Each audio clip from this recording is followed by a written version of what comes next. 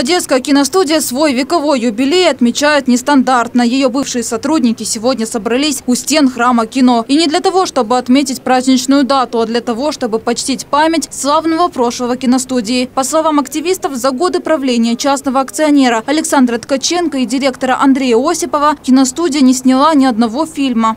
Сюда приезжали арендаторы, приезжают киностудии, которым нужно снять какие-то эпизоды одесского нашего колорита. А Одесса не снимает, к сожалению. Экс-сотрудники вспоминают, во времена Советского Союза на Одесской киностудии работало почти полторы тысячи человек. С приходом нового руководства штат значительно сократили. Сейчас здесь трудятся от 30 до 50 человек. Реализовать творческие идеи, наконец приступив к съемкам с таким штатным расписанием, невозможно.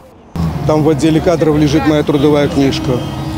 Э, последний раз работая из зарплаты на Одесской киностудии у меня была в 2003 году.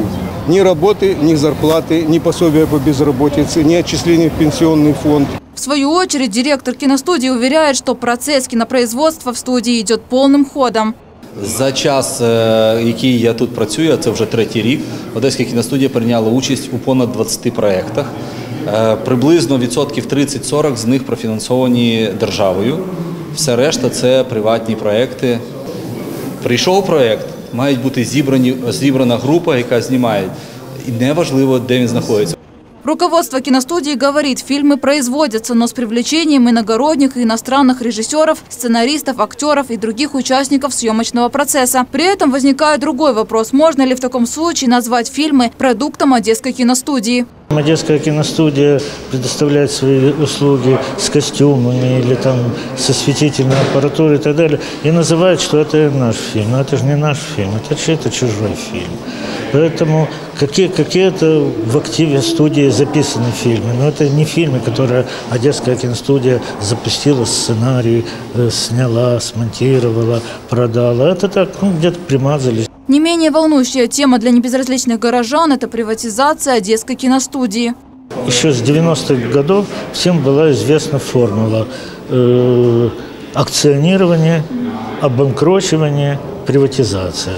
То есть кто-то как бы напополам или на каким-то другим паритетом э, входили как акционерное общество, доводили предприятие до краха и потом полностью приватизировали, после чего это предприятие переставало вообще существовать. Активисты опасаются, что руководство киностудии видит в ней перспективу стать очередной площадкой для строительства. Оппоненты протестующих эти слухи отрицают. Немає ні екскаваторів, ні забудов, ні фундаментів. Тут на цій території не планується будувати багатоповерхівки. Отмечу, что 50% плюс одна акция сейчас находится в собственности государства, а 50% минус одна акция в собственности гендиректора телекомпании «1 плюс 1» Александра Ткаченко. Руководство киностудии выступает за ее полный переход в частные руки. Нарина Щеглова, Владимир Ивжич, телеканал «Репортер».